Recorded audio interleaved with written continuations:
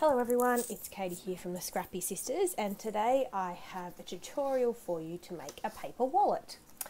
So to make this, and I'll leave all the measurements in the down box below because I personally find it really hard to follow these instructions in a voiceover, but you just need some cardstock or I use some cardstock, um, the pink paper there that measured eight and a half by inches by five and three quarter inches and I personally rounded the corners but that's optional.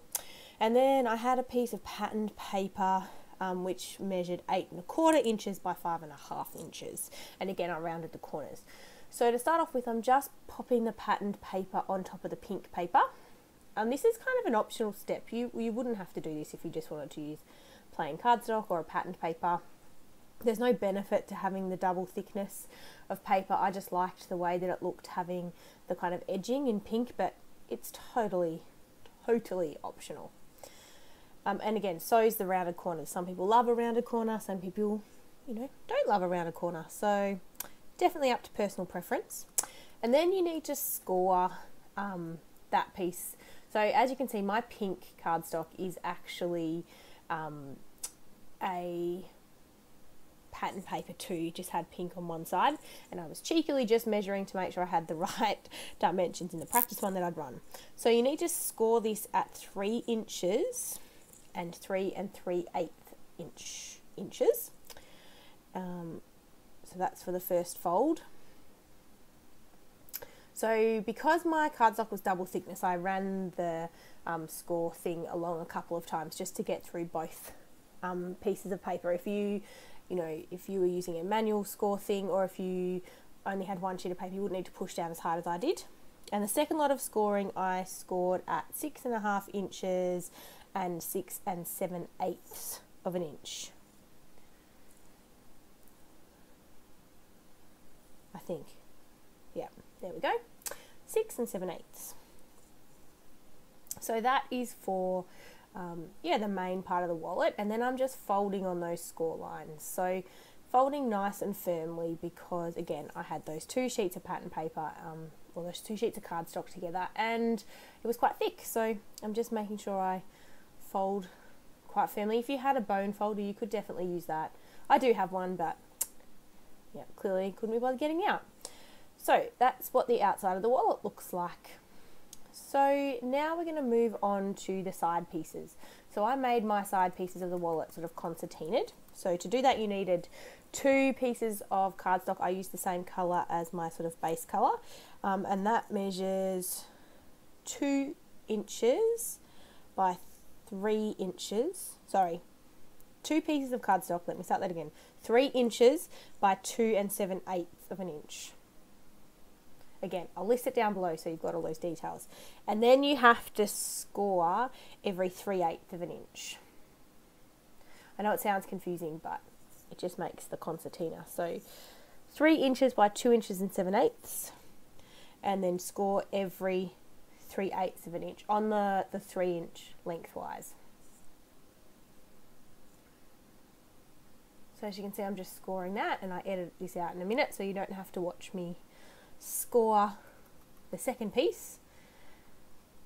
Uh, so for this one I did make a little mistake and I edited it out of here but um, I did push down a bit too hard and I cut through um, my scoring sort of pierced the paper so I just cut another piece but um, yeah, you don't need to push quite as hard as I did.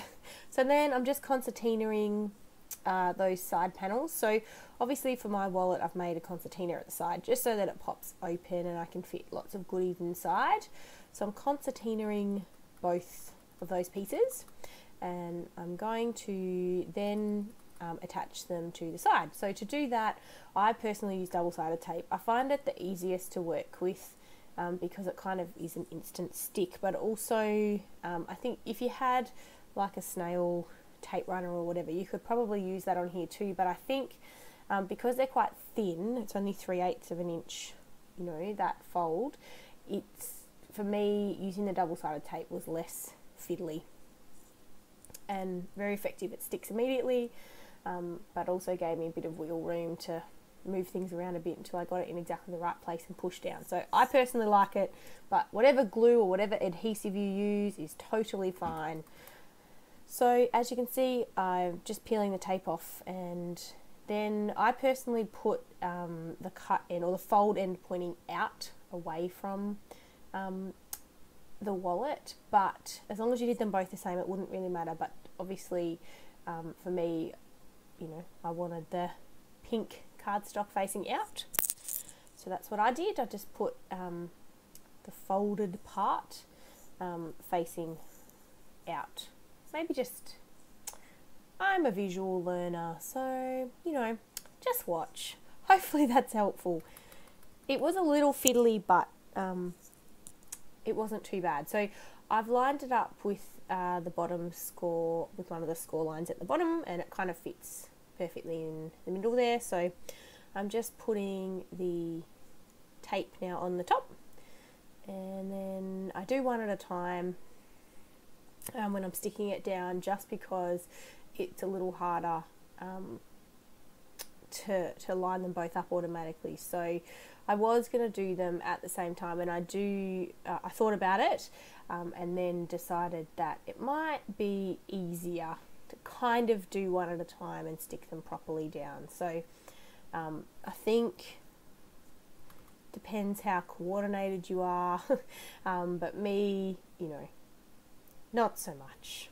So as you can see here, just lining again it up with the score line at the bottom and just pressing it down firmly so that it's completely stuck and then I can do the other side. Because it's concertinaed, you've got, you know, it's not, you've got room in there to play. So um, it didn't matter too much because I had enough room to get my fingers in and line it up and um, yeah, and it worked well for me. So I'm just sticking that second fold down as so and that is done. So that is the bulk of the wallet done. Now you could do lots of different ways to close the wallet. Um, I tried a couple of things. If you had some magnets, that would work really well. I personally did a belly band.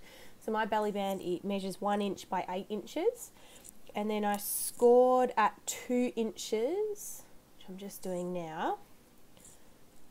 Scored at two inches and two and a half inches. Just checking my I was just checking my measurements over to the side there. So two and a half inches. And then I score again at five and five eighths of an inch and six and one eighths of an inch. Now this is a good indication of the fact that I am Australian if you can't tell. Um, and we don't use inches. So I am not as quick uh, when it comes to working out what five and five eighths of an inch is and six and one eighth of an inch. So this took me a little longer than it potentially might take the Americans watching out there who work all the time in inches. But yes, I don't. And so for me, yes, I always have to check and double check my measurements. So that's done. I'm popping my trimmer slash scorer away and just folding along those score lines. Um, and then just to make the belly band. And so I've just done a very basic um, sort of design of this wallet. I haven't decorated it or anything like that, and really the world is your oyster. You could do whatever you want with this. I'm including it as part of Happy Mail that I am sending uh, to a friend. So for me, it's matching with a paper purse that I made, um, and so yeah, I really loved how it turned out. So I'm just sticking the belly band together. Very simple, nothing rocket science about this and then popping it over the wallet and that is done. So that is the belly band there. And that's the wallet all closed and you can see that that's the finished product. So I'm just showing you some close-ups here so you can see the sides and that's the back and then it opens up and you can fit lots of different goodies inside. I've filled mine personally for my friend with die cuts and lots of different things. So I'm going to show you now um, that I have made it to fit inside a paper purse that I also made. So I'm just bringing that out now, this paper purse. And I'll put a link in the description box down below to the tutorial I did for that. And so you can see that fitting in there. So I hope you guys make this. I did get inspiration from YouTube, so I'll link the original video below and we'll see you next time. Bye!